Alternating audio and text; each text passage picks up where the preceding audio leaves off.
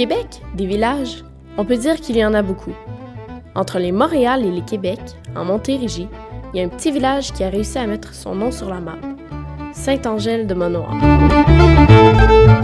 Il y a dix ans, il n'y a pas grand monde qui aurait parlé de Saint-Angèle comme on en parle aujourd'hui. En quelques années seulement, le petit village a su devenir une terre d'accueil pour des milliers de visiteurs. L'église de la petite communauté accueille à chaque dimanche les 1900 angéloiriens qui sont tous présents sans exception et même une heure à l'avance dans leurs plus beaux habits.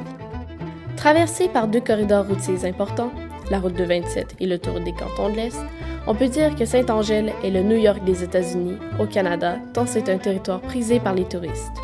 Plusieurs commerces prospèrent ont pignon sur rue dans le village, tels que la ferme d'amour, la pizzeria chez Alz, le marché ami, le camping Domaine du Rêve et bien d'autres. Il y a aussi le réputé restaurant La Tête de Pioche, qui s'est vu recevoir sa troisième étoile Michelin cette année, tant ses petites patates déjeuner sont exquises.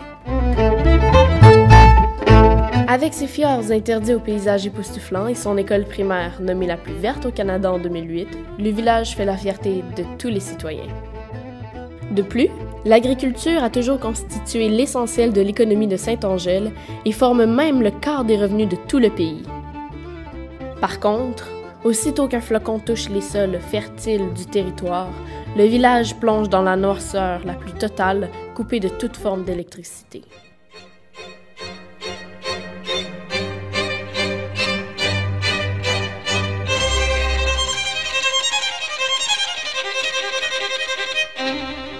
Peu nombreux sont les chanceux qui peuvent s'offrir une voiture dans le village. Les calèches sont de mise pour la classe moyenne.